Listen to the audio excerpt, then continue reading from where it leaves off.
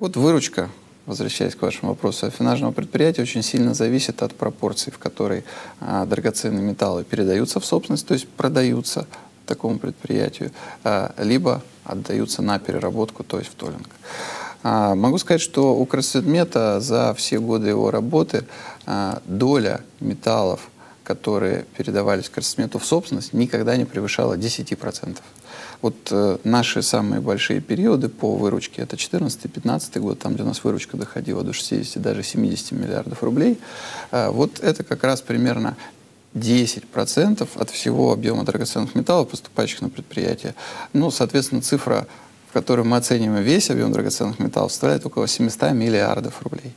А, возможности купить за деньги сырье как раз э, характеризуют изменения в этой пропорции. Вот если возвращаться к 2016 году, 2016 год был э, неудачный с точки зрения покупки за деньги сырья. В данном случае речь идет о вторичном сырье. Это достаточно специфичный рынок. Э, мы потеряли львиную долю выручки как раз в силу невозможности приобрести лома, ювелирные лома в первую очередь.